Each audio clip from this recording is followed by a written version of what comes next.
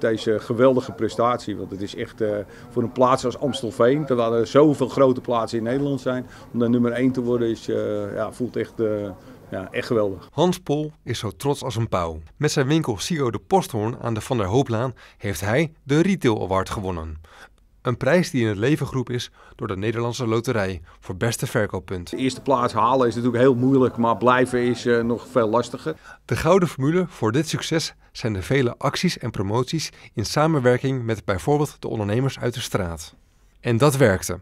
Steeds meer mensen kwamen van heinde en ver om een kras of staatslot te kopen in de winkel van Hans. Ook heel, heel wat prijzen uitgekeerd de afgelopen jaren. En die zorgen dan weer voor promotie naar buiten om, uh, om meer klanten te krijgen. En hoe meer klanten je krijgt, uh, ja, des te groter is ook de kans dat uh, prijzen bij jou in de winkel gaan vallen. En ja, daar zijn we heel blij mee.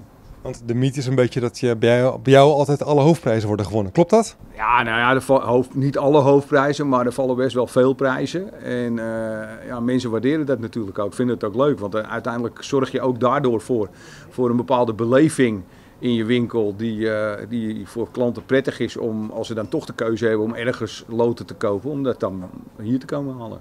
En om het beste verkooppunt van Nederland te worden, moeten er behoorlijk wat loten verkocht worden. Hoeveel precies? Nou, ik, die vraag uh, is best wel lastig, omdat, uh, omdat uh, je natuurlijk loten van 20 euro hebt, loten van een euro, Eurojackpot, een kraslot, toto deelnames. Maar ik denk dat je toch wel richting 250.000 loten moet komen om, dat, om deze positie te halen.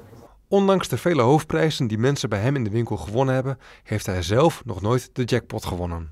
Nou ja, ik heb wel al verschillende prijzen gewonnen, maar niet van dat soort hoge bedragen dat, uh, dat we daar een feest van konden geven. Dus uh, nee. Maar ondanks dat blijven we het gewoon proberen natuurlijk. Hè? Want uh, elk lot maakt evenveel kans.